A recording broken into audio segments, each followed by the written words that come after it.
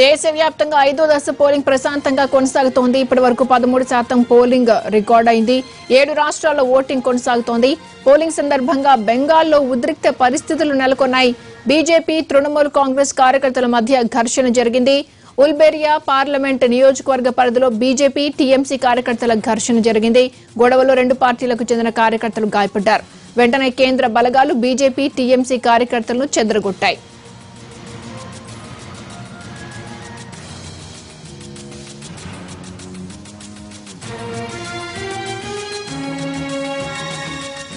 ఐదో దశ పోలింగ్ సరళిపై పూర్తి సమాచారాన్ని మా ప్రతినిధి ప్రసాద్ ఢిల్లీ నుంచి లైవ్గా అందిస్తారు. ప్రసాద్ చెప్పండి బెంగాల్ మినహా మీ ఇతర రాష్ట్రాల్లో జరుగుతున్న పోలింగ్ ఎలా ఉంది?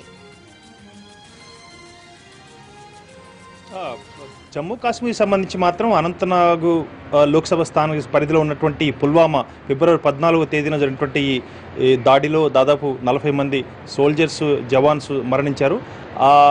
అదే పుల్వామా ప్రాంతం కూడా ఈ అనంతనాగ్ లోక్సభ స్థానం పరిధిలోకి వస్తుంది. అక్కడ ఒక గ్రెనేడ్ విసిరిన సంఘటన చోటు చేసుకున్నట్టుగా తెలుస్తుంది. అంతకు మించి వేరే చోట అంతా కూడా ప్రశాంతంగా నడుస్తున్నట్టుగా చెప్పుకోవడానికి అవకాశం ఉంది.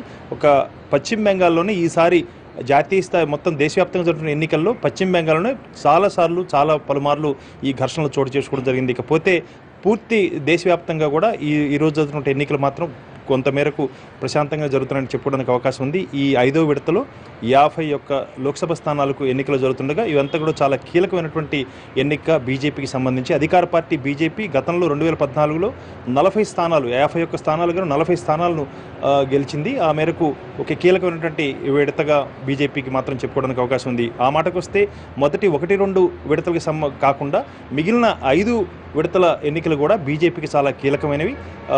మొత్తం ఈ ఈరోజు జరిగే ఎన్నికలతో దాదాపు ఐదు నాలుగు వందల ఇరవై నాలుగు స్థానాలకు పూర్తిగా ఎన్నికలు పూర్తయ్యే అవకాశం ఉంది.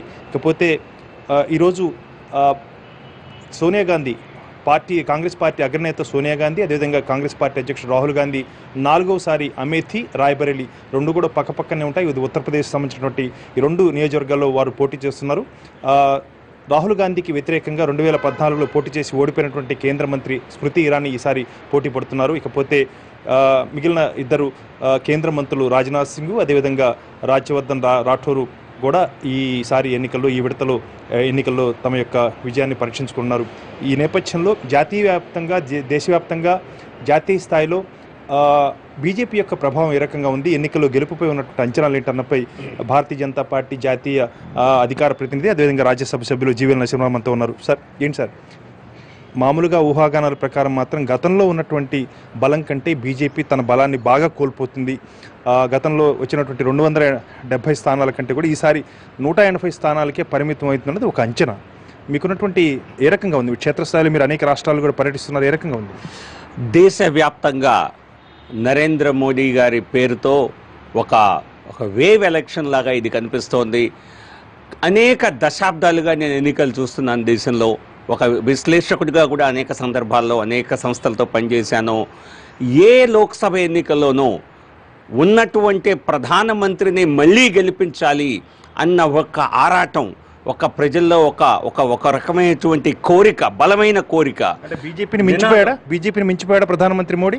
దానిలో అతిశయోక్తి కాదు. ఎందుకంటే ఈ రోజున అనేక మందిని మేము ఎక్కడైతే అభ్యర్థుల్ని ప్రజల్ని మా పార్టీకి ఓటేయండి అని మేము అడిగే లోపే మేము మోడీకే గెలిపిస్తున్నాం మోడీకే ఓటేస్తామని అన్ని ప్రాంతాల్లో చెప్తున్నారు. ఢిల్లీతో సహా సో కాబట్టి ఈ రోజున నరేంద్ర మోదీ గారి పేరుతో ఒక ఒక ఎలక్షన్ వేవ్ నడుస్తూ ఉంది దేశవ్యాప్తంగా.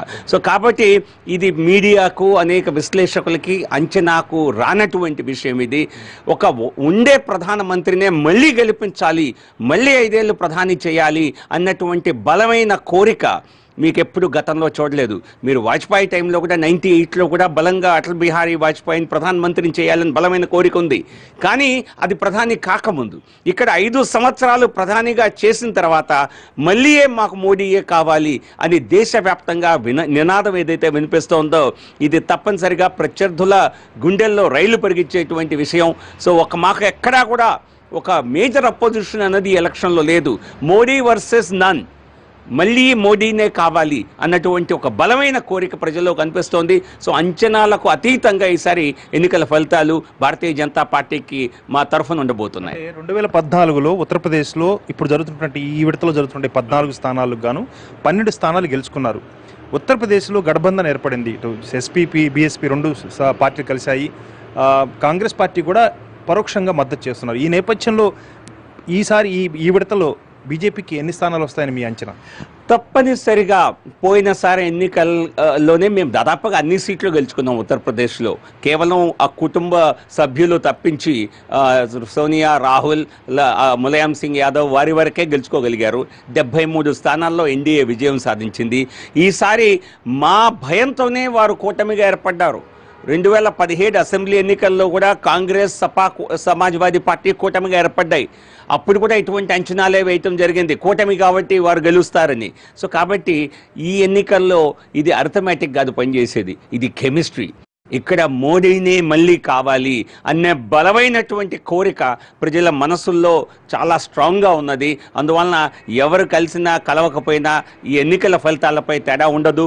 రెండు వేల పద్నాలుగు కంటే పెద్ద సంఖ్యలో దేశవ్యాప్తంగా భారతీయ జనతా పార్టీ విజయాన్ని సాధిస్తుంది. రెండు వేల రెండు వందల డెబ్బై స్థానాల కంటే ఎక్కువ స్థానాలు గెలిచే అవకాశం ఉందా? ఈ ఈరోజు ఈ రోజు ఉన్నటువంటి వాతావరణాన్ని చూస్తే ఈరోజు కాదు గత రెండు నెలలు ఎలక్షన్ అయిన దగ్గర నుంచి దేశవ్యాప్తంగా వాతావరణం చూస్తే తప్పనిసరిగా రెండు వేల పద్నాలుగు నుంచి ఎక్కువ స్థానాలు గెలిచే అంచనా ఉంది మాకు. ఎందుకంటే రెండు వేల పద్నాలుగులో మాకు కొన్ని సీట్లు నెగిటివ్ కాంగ్రెస్ పైన ఉన్న వ్యతిరేకత వలన కూడా వచ్చాయి.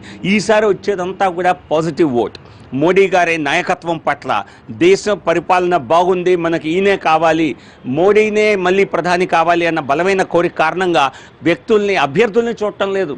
అనేక స్థానాల్లో అభ్యర్థుల్ని పట్టించుకోవట్లేదు. ఎవరు అని అడగకుండా మోడీకే మా ఓటని చెప్తున్నారు. సో ప్రమాద ఇది చాలా ప్రమాదకరమైన ట్రెండ్. ఎందుకంటే జాతీయ స్థాయిలో జాతీయ పార్టీలకు ఒక వ్యక్తి హైజాక్ చేయటం పార్టీని ఒక వ్యక్తి ఒక ప్రతిష్టపై ఎన్నికలు జరగటం అన్నది అంత స్వాగతించే అంశం కాదకు ఇది బీజేపీ ఎప్పుడు గెలిచినా కూడా ఈ రకమైనటువంటి విశ్లేషణ చేస్తారు కాదు. ఆయన భారతీయ జనతా పార్టీలో భారతీయ జనతా పార్టీ భావజాలంతో పుట్టి పెరిగిన వ్యక్తి. నరేంద్ర మోడీ వేరు బీజేపీ వేరు కాదు.